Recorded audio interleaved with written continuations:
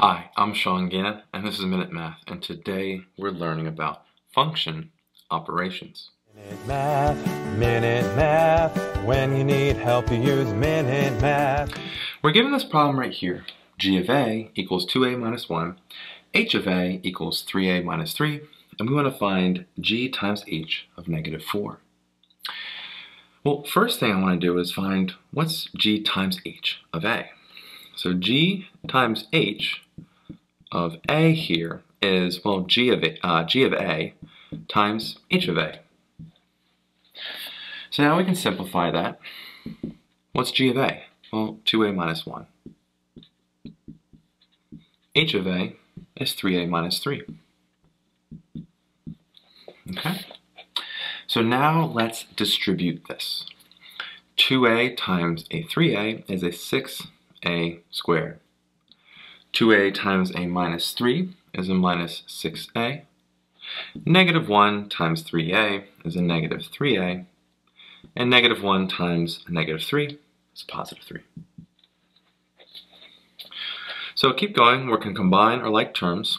Nothing goes with a squared, but minus 6a minus 3a is a minus 9a.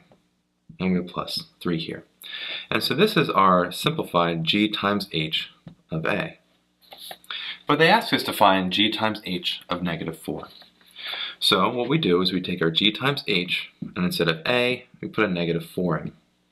And now we simplify, or we substitute negative 4 in for a. 6 times negative 4 squared minus 9 times negative 4 plus 3. Simplify where we can. We have negative 4 squared, which is a positive 16 negative 9, 9 times a negative 4 is a positive 36, and a plus a 3. Keep going, 6 times 16 is a 96, plus 36 comes down, and plus a 3. And so now, lastly, we add them up. 96 plus 36 plus 3 is a 135. And so our final answer here is just 135. I hope this video was helpful for you, and if it was, please subscribe to this YouTube channel and like this video. This helps us make more free math lessons for you and for everyone else. So as always, thanks for watching. Minute Math, Minute Math, when you need help you use Minute Math.